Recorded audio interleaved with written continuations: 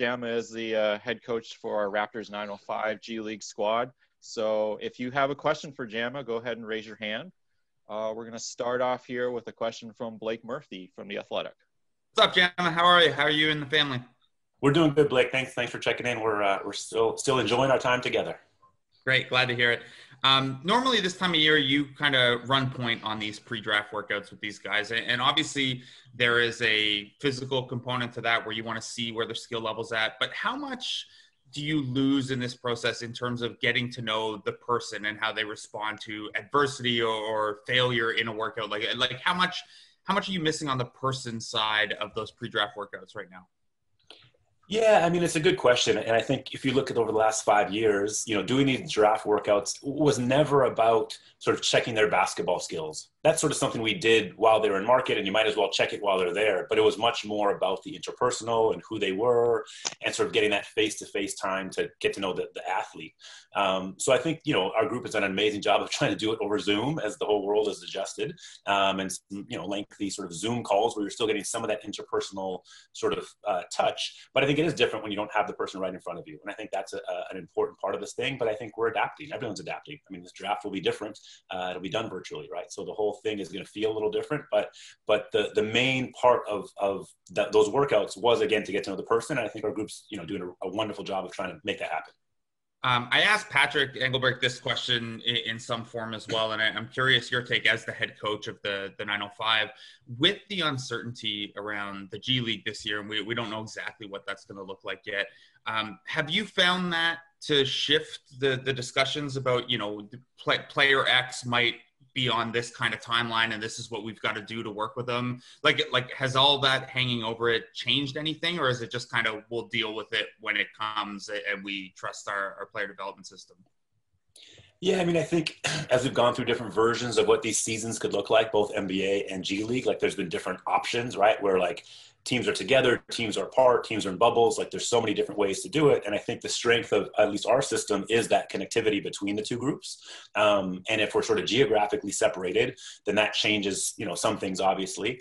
Uh, and then I think in terms of the players, there was a discussion of, you know, what happens with player rosters?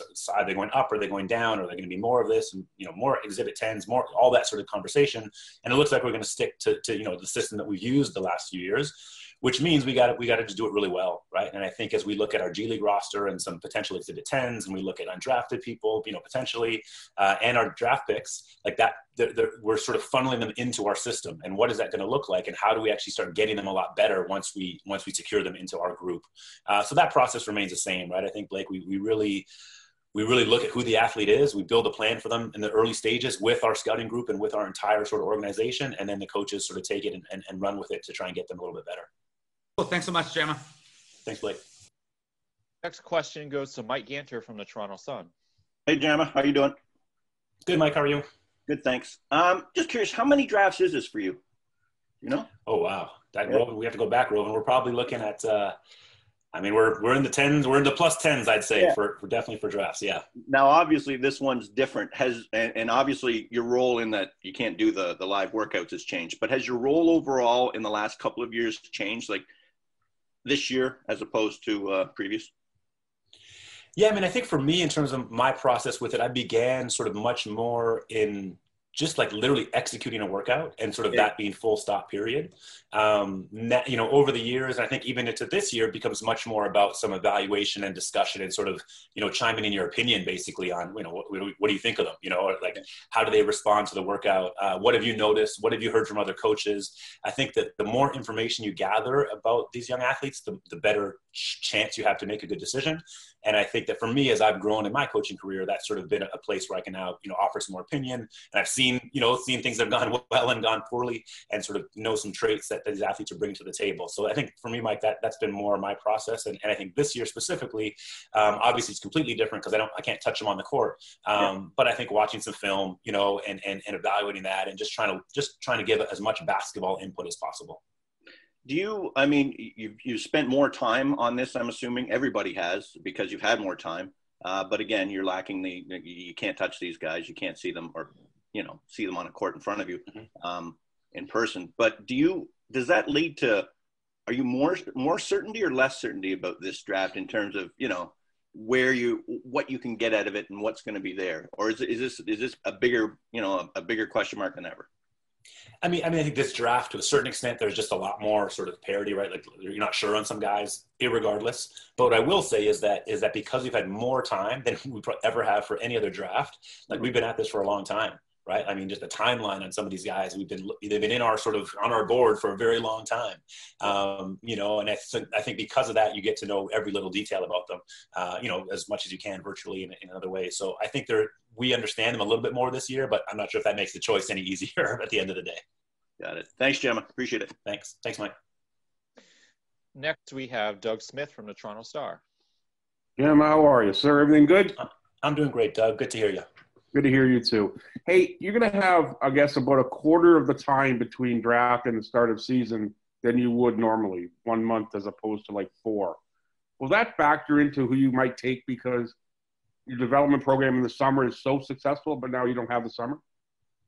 I think the only place it'll change, Doug, is maybe with some of our like returning rights players in the G League, um, where sometimes you're taking a look at, you know, can one of those guys be in the in the sort of real development curve and really, you know, move the needle? I think we're going to have to because it's a shorter timeline. You have some more established players in some of those roles um, because the thing is going to get up and running pretty quickly in terms of that, that 905 team playing. Um, so I think that it may change some of our roster decisions, kind of again with returning players older players but i think that young group and that development system will remain pretty much as it is because i think you know that's that's it's an art form to do it. And we just got to be really now efficient right? And literally from the day that the, that we draft these guys or we, we select them as exhibit 10s like we're going to go to work right away. Um, and i think we got you know we just got to have to it's a, it's a smaller timeline um, but we got to try and pump out the same results. And so it's, it'll be it'll be uh, a lot of work you know for the group. Um, but if we have those veterans as opposed to younger people around them that would help us you know speed up that process yeah, and just one more. What are you hearing from the players? What are they? What are their concerns about their process here? Yeah, I think you know. I think most players, and you know, you've been in touch with some of the guys that are that are you know both on the NBA side and the G League side. I think I think for the for the NBA players, it's sort of you know they've been trying to get their work in right? And i think most of them you know know the system right? Especially our older guys. And then and then and then some of the younger guys we've been really helping them to get into a, a good plan you know wherever they are and, and, you know working with them through this course of time um, so we can hit the hit the court running. And i think for the g league players it's definitely been a little different for them. They don't have quite the same infrastructure built in to support their growth and development. You know so some guys that you talk to and they you know haven't really done much in a month and you're sort of oh you know like how, what are we going to do with this? Um, and i think just finding ways to, to to get them rolling pretty quickly here is going to be really essential to both teams success. Great thanks very much. Good luck the next week or so. It's going to be crazy busy. It's going to be a fun time in basketball. Thanks doug. Next question goes to aaron rose from si.com hey Jama thanks for doing this. Um, no problem aaron. I'm wondering, you guys have had such success uh, developing players, and I'm wondering what characteristics you have found to kind of be the most successful when when looking at prospects um, coming into your system?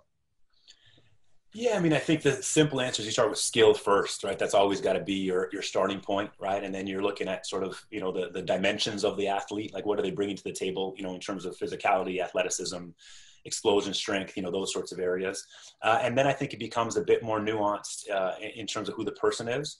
And then I think you're trying to look for some unique characteristics that they're bringing to the table. I mean, I think uh, we all know that an NBA season is a really long season, right? And it's, it's, it's a grind more than it is a race. And I think finding people that can sort of work their way through the grind and find a way to persevere through some adversity uh, are, are, things you're starting to look at in terms of qualities that, that you want to have in your system um, and players that can can find a way to succeed. Um, so it's definitely a multifaceted thing in terms of what you look for, right? There's a, there's a lot of factors and you're balancing things out. You're looking at your current team and, and what sort of you have in your team already that you want to add to or, or, or create more. So, so each year it's a little bit different based on the makeup of the team you have coming back. Um, but overall, it, it starts with skill, and then you get into some of the personal stuff after that. Sure. And one more for you. Um, because of your success, you have guys like Fred who um, are hopefully probably going to make a lot of money um, this year. What is it like for you to see guys like him succeed to the point where um, you know they're going to cash in and make a lot of money potentially in Toronto or elsewhere? Does that kind of make you proud?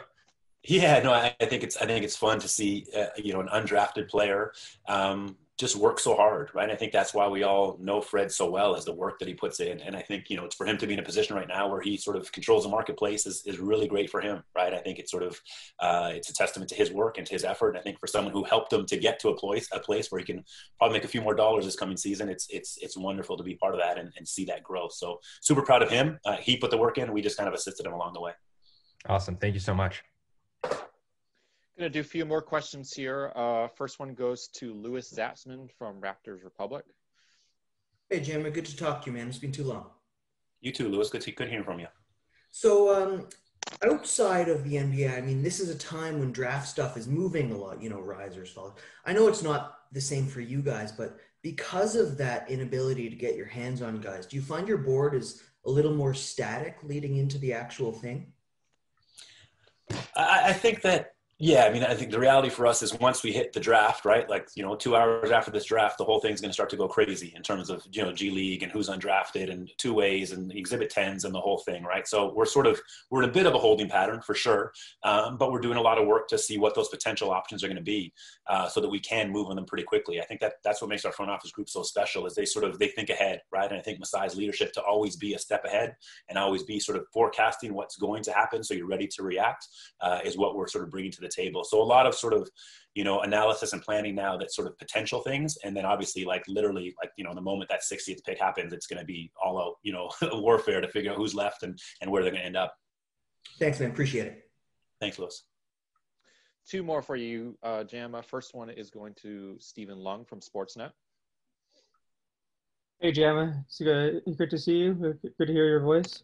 You as well you as well um, I was just wondering, uh, just as as far as like the like the draft process goes, you, you mentioned how like a lot of Zoom interviews, a, a lot of a lot of like Zoom process. Um, does that change anything when when when speaking to prospects? Like like uh, like as opposed to seeing them in person, like in terms of getting to know their personality and and like who they are as as human beings.